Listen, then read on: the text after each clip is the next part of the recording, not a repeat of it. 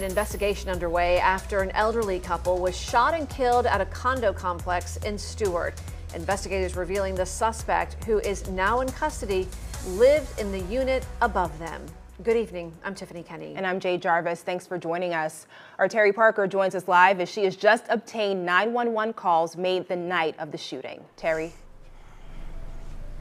Right, it happened right here in front of the mailboxes. Police tell us that a 75 year old Hugh Hoopman did have a concealed weapons carry permit. However, he, he's told them that he was angry that his neighbor down the hall here uh, refused to apologize him for swearing and yelling at his wife. So he said that he reached into his pocket, he pulled out his gun, and he shot not only the neighbor, but also the neighbor's wife right here on this walkway.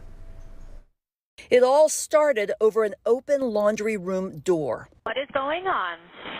My husband just shot two people, and I believe he killed them. According to the arrest affidavit, Hugh Hoopman told detectives several days ago his downstairs neighbor, Henry Wallace, yelled at Hoopman's wife for leaving the shared laundry room door open.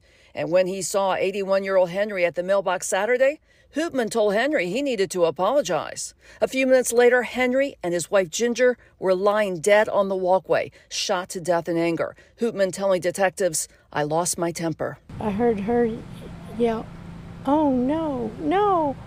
And then she screamed and then she was silent. Oh my gosh.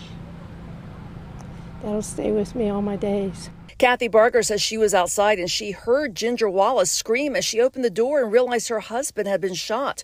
According to the affidavit, Hoopman said when Henry Wallace tried to walk past him, Hoopman pulled out the gun he carried in his pocket and shot him several times. When Ginger came out and began yelling, police say Hoopman told them he shot her too.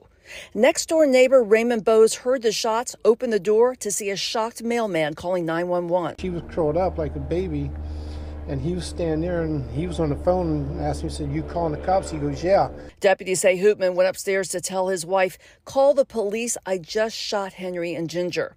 The SWAT team arrived and took Hoopman into custody. Detectives say he said, So sorry. I wish I could take it back. And on the 911 calls, you can hear Susan Hoopman telling police that her husband immediately knew that this was a big deal, very wrong, and he un, um, took the gun apart, took the magazine out, put it outside, and he was sitting, she said, still in shock in his recliner while she called 911. Tonight, he's in the Martin County Jail with no bond, facing two counts of first degree murder. In Stuart, Terri Parker, WPBF 25 News.